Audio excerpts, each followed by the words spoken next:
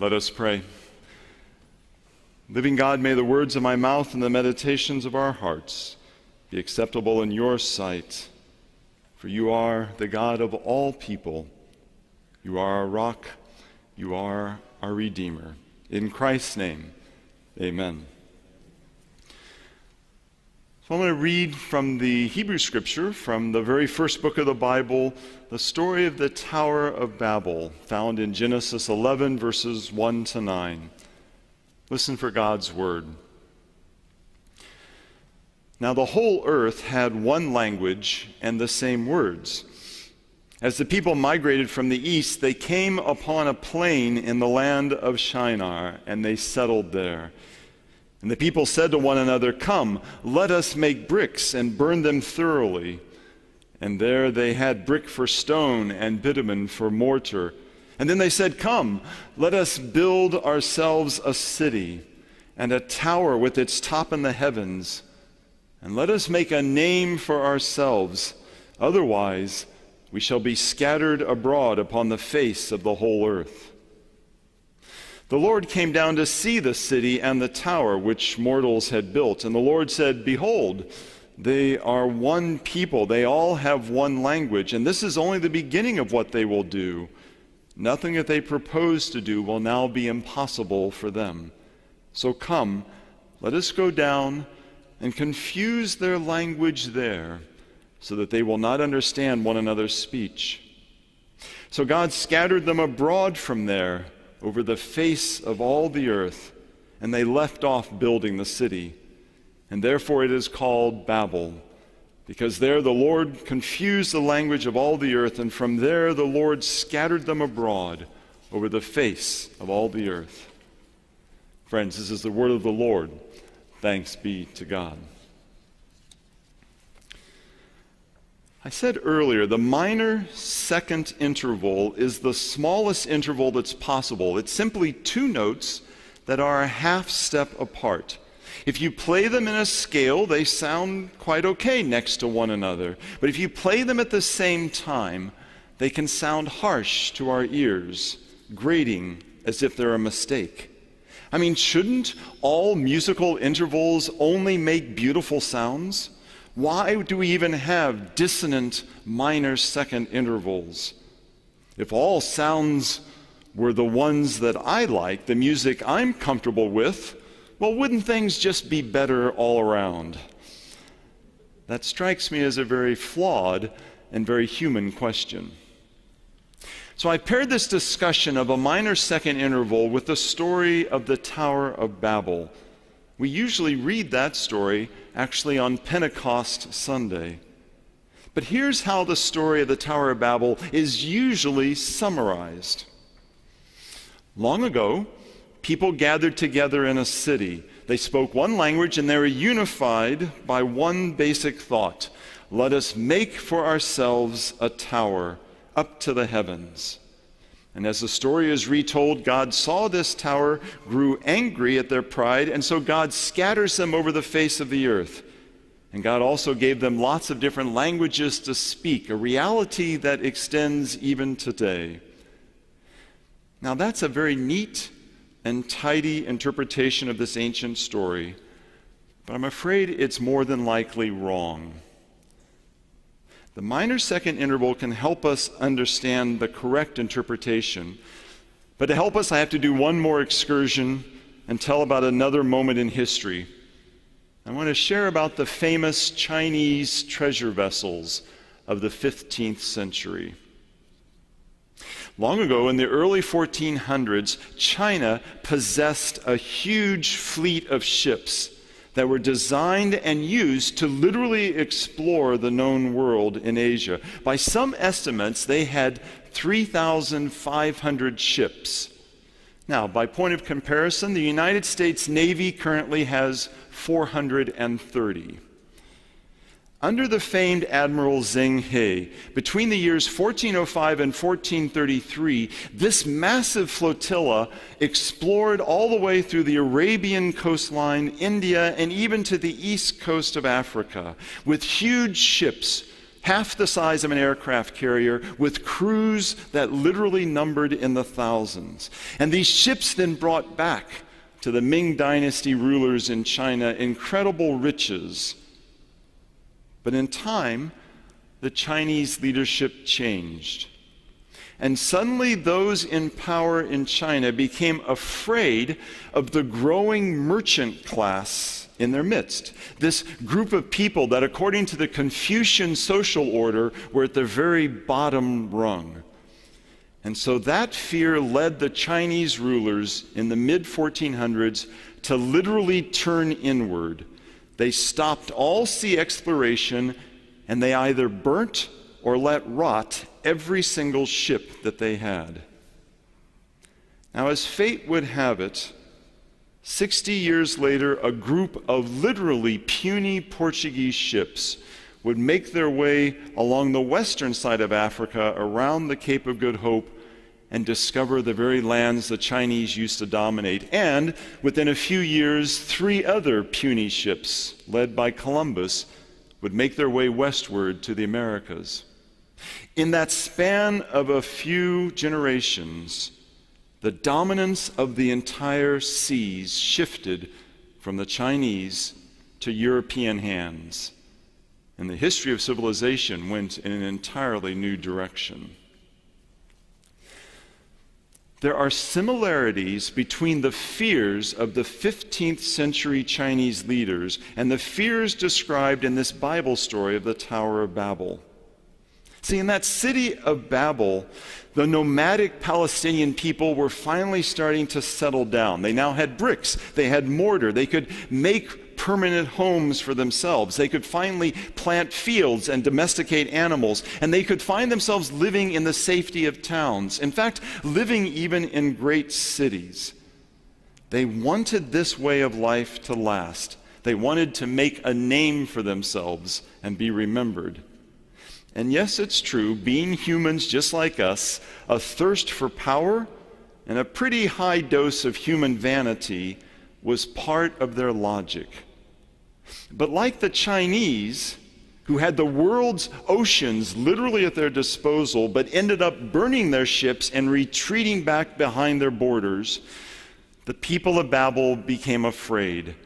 And what's said in Scripture is they were afraid of being scattered over the face of the earth.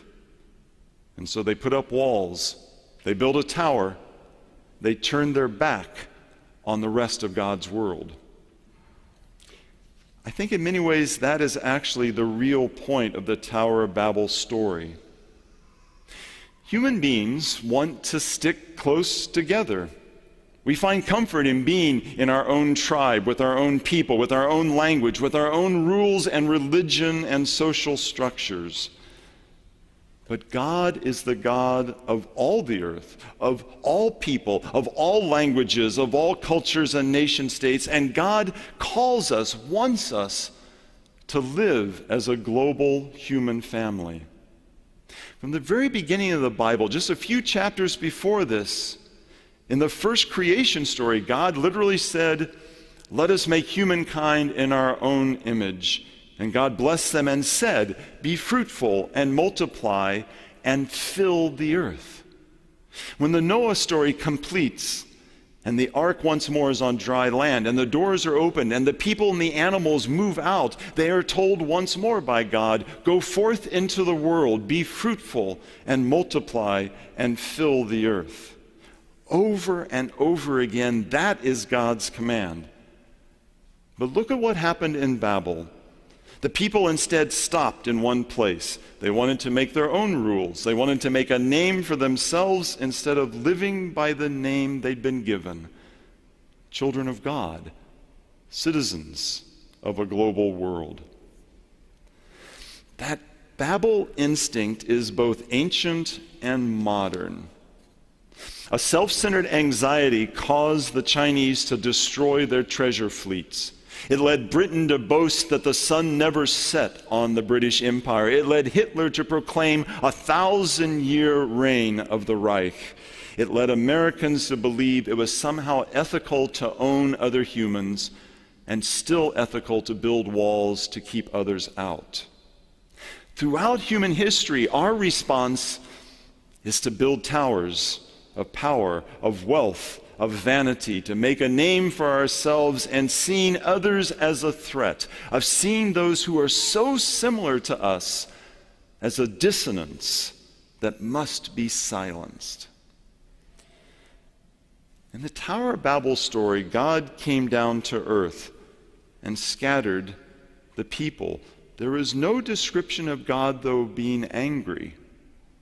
And we often think that God scattering the people was some type of punishment. But God only acts for a purpose. God only acts not out of anger, but out of love, out of desiring to set things right.